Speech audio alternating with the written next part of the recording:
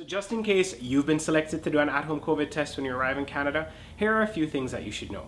Firstly, unless otherwise specified, this test will likely need to be completed within 24 hours. And it is not as simple as just swabbing yourself and carrying on. Start this as soon as possible because what's actually going to be happening is you're going to be teleconferencing with a healthcare professional who's going to guide you through it. So find a clean and quiet area, open your test kit, but don't touch any of the important items use the code provided to log into the Switch Health account or where you've been told to go to.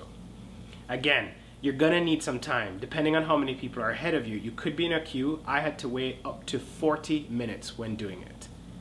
When the healthcare professional comes on, they're gonna ask you to verify your ID and verify certain information in the kit. Make sure you follow their instructions. Make sure that they can see and hear you. Once they guide you through the kit process, you of course will have to uh, seal the sample by yourself. Again, they're going to be guiding you, but be very careful.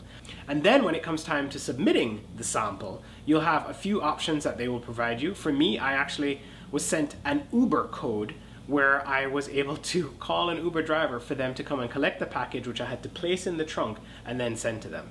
But, you know, it seems very simple, but something I took for granted. I almost didn't have enough time to complete my test because I thought it was far simpler. So if you have been selected, just go through the process. Um, and until we meet again, walk good.